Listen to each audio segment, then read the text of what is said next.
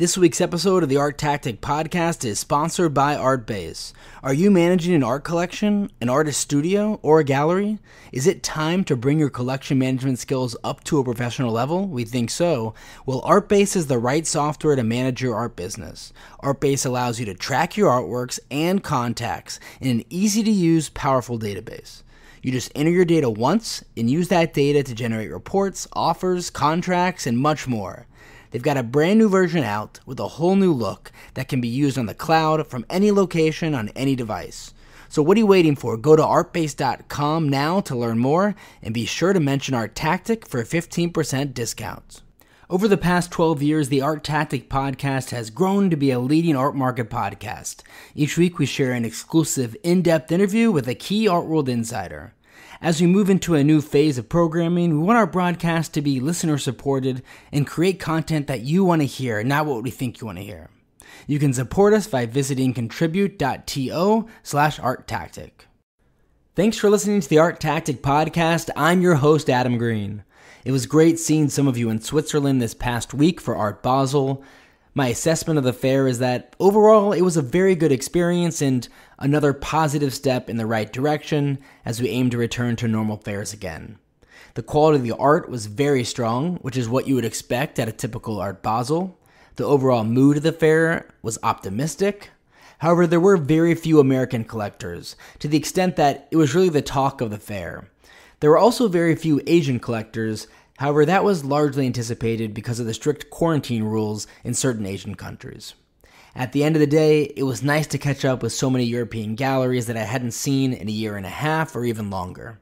We wanted to break down this first major European art fair since the beginning of the pandemic. So, in this week's episode, we're joined by Nate Freeman, art columnist at Vanity Fair, Nate's been a regular on the podcast over the years. He offers incredible insights on the market and on everything that's going on in the art world. And he was at Basel as well, and he's kind enough to join us to recap the fair. We hope you enjoy the conversation. Thanks so much for listening.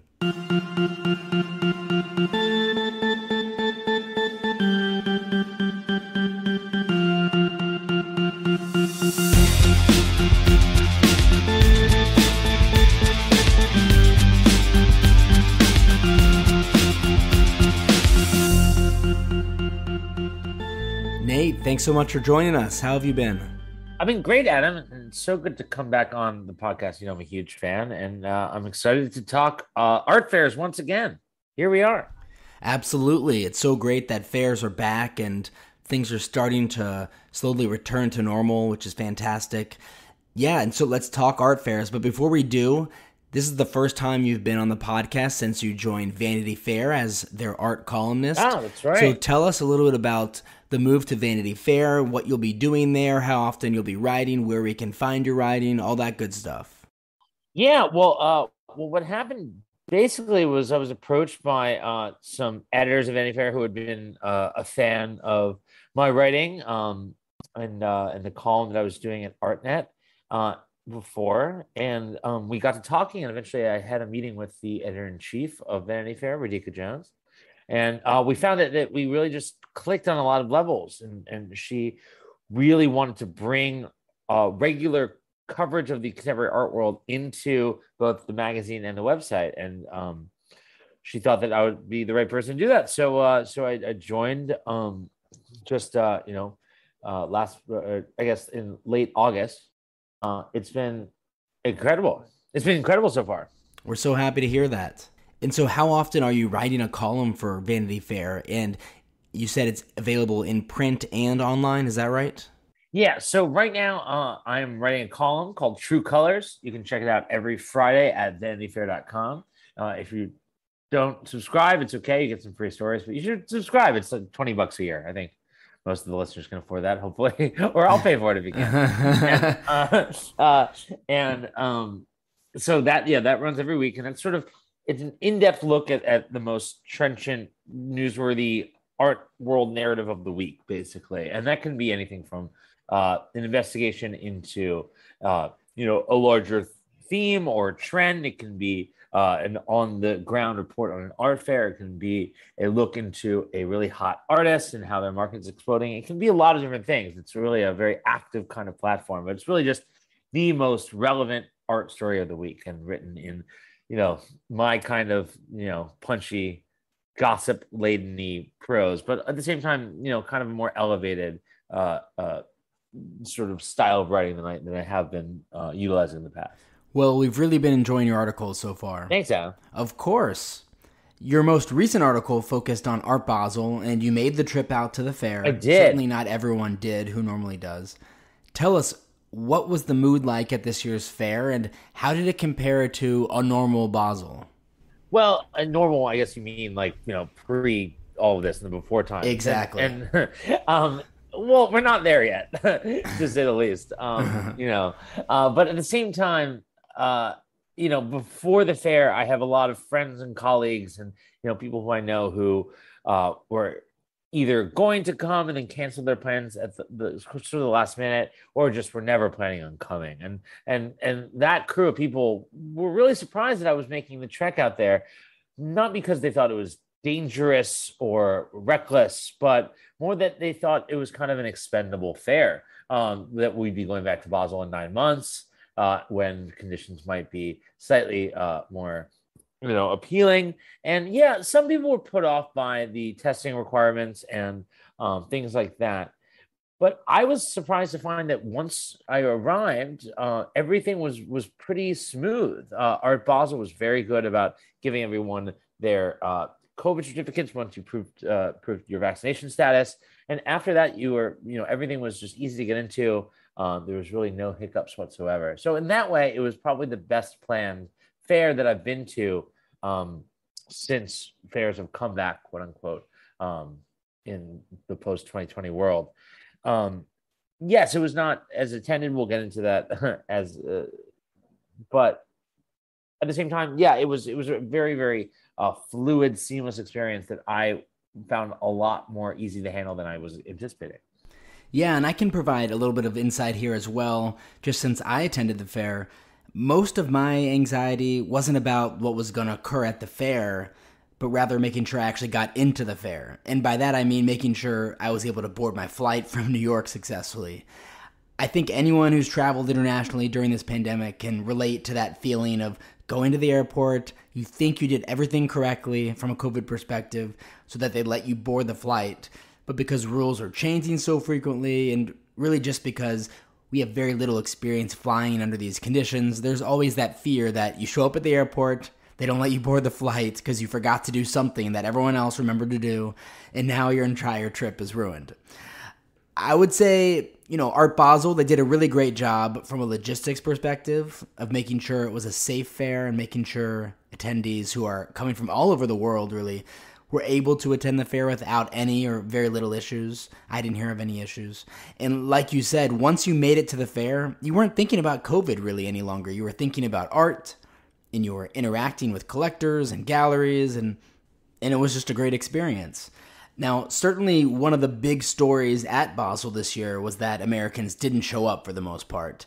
And it was so apparent that I'm trying to remember, but I, re- I really think every gallery I spoke with mentioned it at least once. Um, so it had a big effect and it was quite noticeable. So, to what extent did you think that was true? And with mostly only Europeans attending the fair, did that ultimately have an impact on sales? Mm, that was certainly the case. I mean, you know, walking around, you just didn't see a huge chunk of the American collectors, advisors, dealers uh, that you normally would see. You know, you'd walk by a booth and the person's name who's on the booth is not there. You know, um, uh, if you get what I'm saying. Uh, and yeah. that, that, that, definitely had, had an effect. Uh, and of course, you know, to perhaps even a larger extent, there were no Asian collectors or advisors because they're faced with really intense quarantine uh, restrictions when they return to their countries, regardless of their vaccination status. So it's like a huge uh, leap to come. Uh, but at the same time, we have to remember that you know our European friends have not seen any Americans in so long because they can't come here. Um, they're faced with extreme quarantine uh, requirements when they come to the US or they have to go through Mexico or Canada. And so I think that to look at it, uh, you know, in a positive way, the Americans did who did come, uh, I think really earned a lot of uh, points from the European dealers who were, you know, really, really needed to reconnect with with American advisors and dealers and just like sort of get back into the swing of things. I saw a lot of just like happy reunions between people that wasn't really the case at you know Frieze or um, the Armory show when it was really just the same Americans who we've been seeing for you know this this this whole time. Uh, as for how it affected sales, I mean, you know, you go into the Kordansky booth on the first day, or you know, or most booths really, what you're seeing is already pre-sold. If it's by if it's primary market work, um, it's already pre-sold, and a lot of times it's pre-sold to Americans.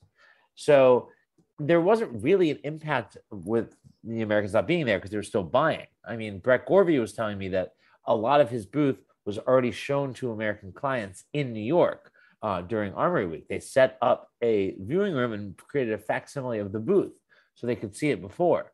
Um, so it didn't really impact sales because Americans were still buying, whether you know via PDF or because they got to see a preview of the works before. Um, and to to go further, you know, a lot of these collectors had their advisors like really, um, you know, pounding the pavement, doing the groundwork, uh, research, and buying for them in absentia.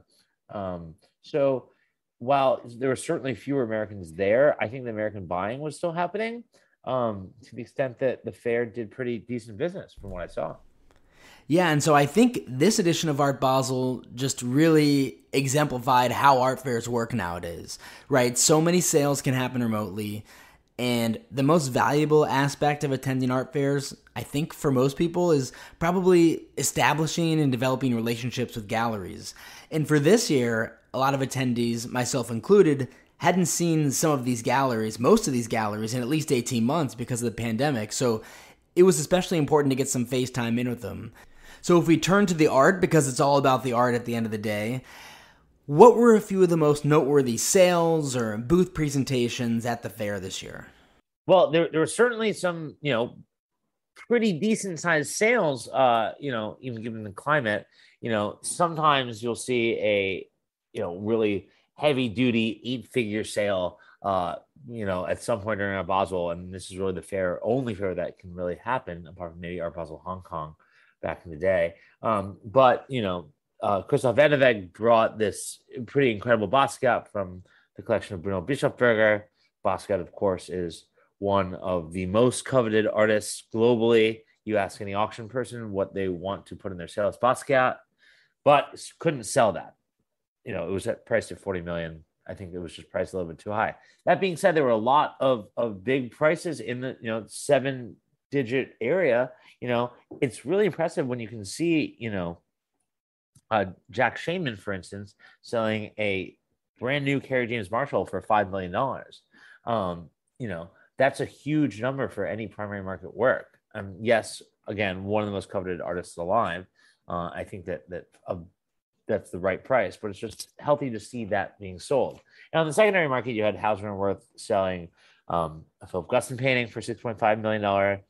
You saw Gladstone selling a Keith Haring for $5 million.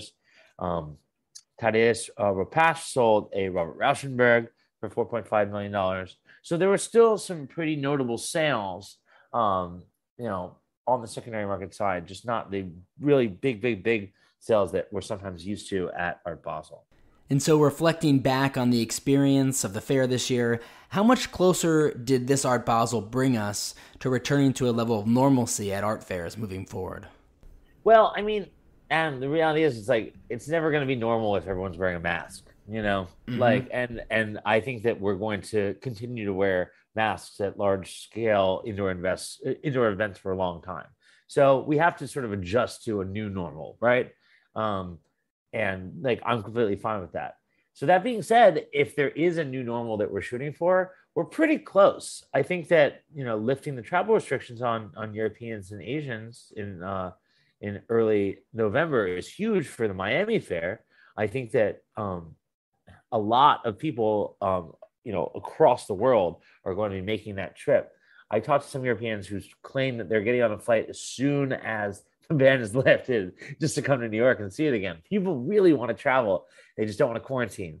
So now that the quarantine threat has been lifted, the, the sort of Damocles is kind of just you know gone, and and I think that that we're going to see a lot more travel once those those uh, those quarantine requirements are lifted, and so I think that the, the Miami Fair, you know, with with everyone sort of freed of that restriction, could be really big. That being said, who knows what the case counts are going to be like? Florida, as we know, is a hot spot uh, there's going to be people worried about it. There's so many um, unknowns right now. Uh, but I think that eh, for what I saw, it was a good sign for art fairs, uh, how well Art Basel went. And certainly the people at FIAC and Frieze who were there were very, very pleased with how it went down because I think that it, it taught people that a fair can, in fact, work again in Europe. Yeah, and you mentioned the travel ban being lifted in the US, which happened during Art Basel week. And that's really one of the other major storylines from this week. Before it was announced, galleries were really kind of saddened that they hadn't been to the US in so long and that they weren't really sure when they would return. But this changes things in a major way, I think, for the international art market.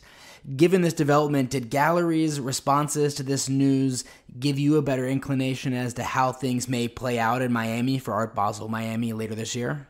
I think they were they responded with ecstasy. It was uh, uh, an incredible move by the administration to, to, lift the ban, and one that people did not see coming. There was sort of every indication that this travel ban would be in place through the end of the year.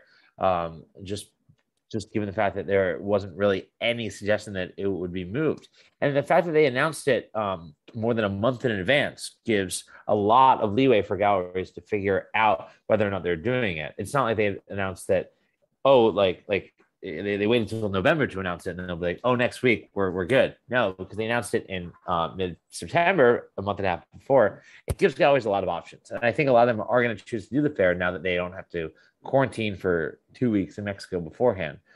Uh, though some some people did do that before participating in Frieze or the Armory show, but uh, they sort of were treated like they were a little bit insane when they got here. Everyone's like, "You really spent two weeks in Mexico just to show at the Armory Show. but now, now, now you don't really need to uh, to to face that dilemma. You can just come here, and and I think that makes a huge, huge difference. Um, not only did I hear a lot of galleries say that they're definitely doing Miami now.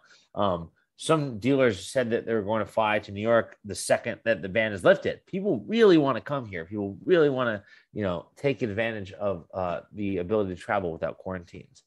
Um, so I think that we can't really underestimate the uh, impact this is going to have. And in so many ways, you know, I know that we have uh, Frieze and FIAC coming up, but I feel like Miami in in, in uh, late November, early December is going to be the first truly global fair since 2019. Yeah, it's fantastic news, and we'll just see how everything plays out. But it seems there is a lot of optimism moving forward in the art world.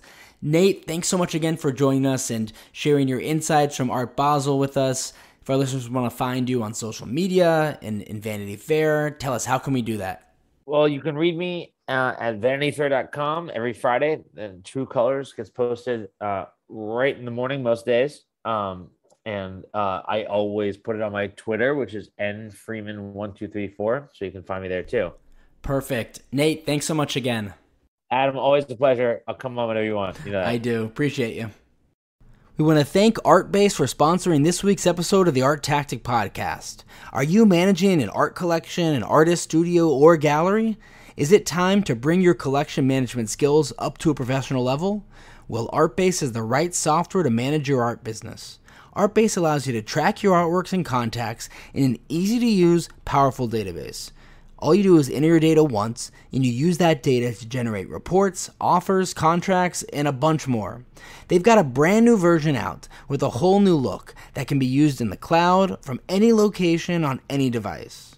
So go to artbase.com now to learn more, and be sure to mention Art Tactic for a 15% discount.